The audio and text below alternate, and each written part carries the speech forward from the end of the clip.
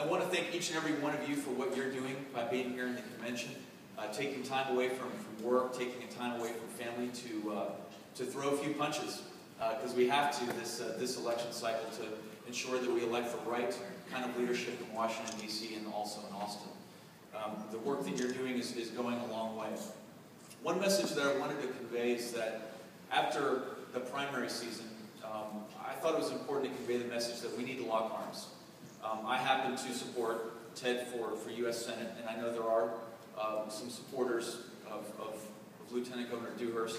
But we as Republicans have to be mindful that our mission this fall is, is to elect the right leaders. And so um, in, in conversations throughout the state, I remind folks that we have to, we have to lock arms. Uh, we have to reach out to the Tea Party. We have to reach out to blue dog Democrats, uh, to moderates, and, and get everybody um, under, under the Big Tent to, to win this, uh, this fall. Um, I wanted to talk a little bit about, I think, my value add, and it's very difficult following a uh, presidential candidate, so we give you a hard time now and. But, uh, but, I, but I thought I'd talk a little bit about uh, the future of the Republican Party and why I'm personally excited about it. Um, as was alluded to, to have a young, energetic, enthusiastic Hispanic as our party's nominee for the U.S. Senate uh, means a lot. I think it speaks to the, the direction of the party. I think it speaks to the future of the state of Texas. Um, and the fact that he's uh, willing to throw a punch or two to fight for our, our, conservative values, which, which I'm excited. But what's more exciting is that he's not going to be alone in Washington, D.C. If you look at the composition of members of Congress under the age of 40, an overwhelming majority are Republican. And that the average age of a member of Congress um, within the Republican caucus is eight years younger than that of the Democrats. So it's... So basically, it's young Republicans that are leading the charge on entitlement reform in Washington, D.C. Um, i happen to be the national chairman of a, a political action committee called MAVPAC, which, which, is focused on engaging younger professionals in the uh, political process. And on an anecdotal basis, we've already seen a tremendous amount of enthusiasm for the selection of, of Paul Ryan. Um, I can't speak highly enough of what he brings to the table um, at a grassroots level for the party and getting uh, new folks to the polls. Um, I think many young Americans agree with the notion that we're more likely to see a UFO than a Social Security check.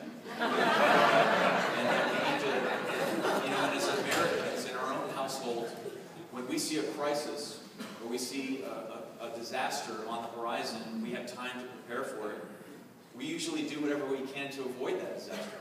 Why can't the most powerful, most wealthy country in the world do the same? And so that's what Paul Ryan stands for with respect to Medicare, Medicaid, Social Security, which represents over 60% of our budget. And as we look at the debt clock, as you all saw on the uh, convention floor last night, uh, we're close to $16 trillion. The Congressional Budget Office already estimates that we're looking at doubling that amount uh, just in 12 years, and as Comptroller Combs referred to before, we're already at 100% of our GDP uh, being, being issued in debt. So the, these are grim solutions. I think young Americans see this crisis on the horizon. They're willing to uh, join and, sacrifice.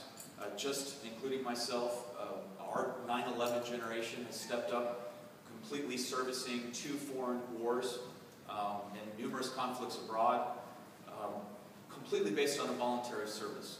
Uh, record applications to the CIA and FBI after, uh, after 9-11 and numerous, um, numerous deployments in inner city schools. So I think young Americans in my generation, even though we're viewed as being cynical and we're skeptical of, of politics, I think we, we understand sacrifice. Um, and that's why we support a guy like Paul Ryan, and that's why I think younger Americans, as we've seen in some of the polling data, are going to make the difference um, in this election. I wanted to talk a little bit about uh, HRT and because I thought it would be important to, to touch on those two, because Steve, I think, has laid out a vision for uh, making Texas and continuing it as, as, a red state. And, you know, at MAVPAC, what we're doing is, is reaching out to, to younger Americans. I think a lot of folks um, in, in my generation thought that President Obama would be a moderate and that he would move to the middle. Um, and they basically fell uh, prey to the rhetoric of, of 2008.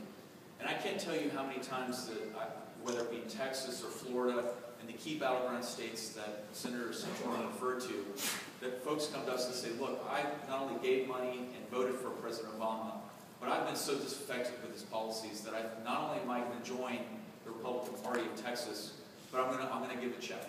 I'm going to do whatever it takes to win this race. And we're already seeing this in the in the polling data. With respect to HRT, which is uh, Hispanic Republicans of Texas, an organization that I'm involved with um, in Texas, we're we're rolling up our sleeves and doing the dirty work in, in Hispanic outreach, and we're going to be collaborating with the Republican Party and helping identify, recruit, and, and support qualified candidates to go run for office. In the State House, we had no Hispanics um, in the last election cycle in 2010. We now have seven, one of which is uh, sitting before me today, Aaron Pena. Um, we, we were supporting Raul Torres for, for state senate, Woo! so we could very well, for those of y'all in Corpus Christi, for those of y'all in Corpus Christi, I highly urge you to go out and support um, his efforts because we need to get him in there. Um, and then, of course, having Ted at the top of the ticket um, has been helpful to us, um, not only at HRT, but for, for the party as a whole. Um, with that, I, I, thought I'd give a, a brief Bush family update because I, I, still get a lot of questions um, about what, what, my uncle and what my dad are up to. Um, first, I'd start off with my grandfather, who is my hero. Um, I,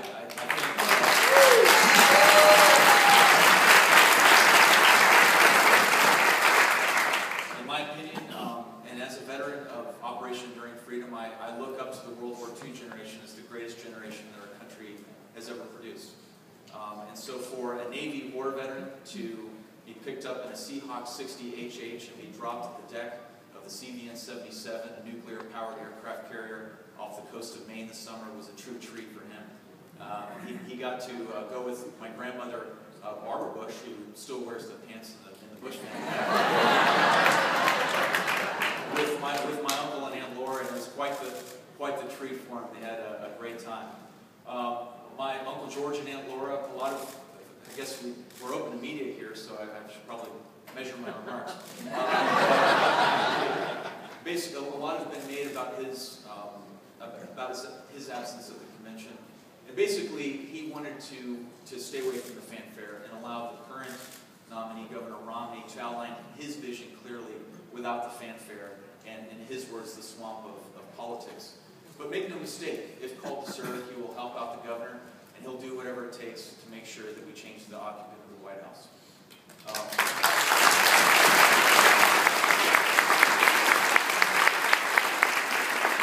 with respect to Dad, you know, a lot of a lot of speculation about him being on the ticket, and uh, I was right along in saying that, that he wouldn't be selected, nor was he seeking it, but he's still focused on delivering the great state of Florida to the Republican column. As was mentioned, we'll be heading up Hispanic outreach in the state along with Senator Rubio.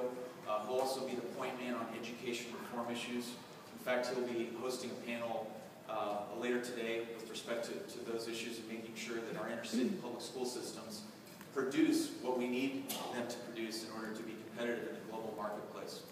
Um, and so with that, I, I, thank each and every one of you for what you do. I think the options are pretty clear um, in this election cycle. I'm not the most seasoned guy around, but, but I can say that there's really two choices in this. We can move towards a collectivist, socialist path where we have, we're encountering one of the, arguably the most left triumvirate of leadership uh, within the Democratic Party since FDR, in the form of Harry Reid, Nancy Pelosi, and President Obama. And on one other side, we have a path to prosperity, a, a realistic and sober assessment of our fiscal positioning as a country. And considering the fact that, uh, that there are serious changes in our country, we need to make sure that we accept, accept and elect the leadership to make that happen. So I thank each and every one of you for what you do, and thank you, Steve, for your leadership.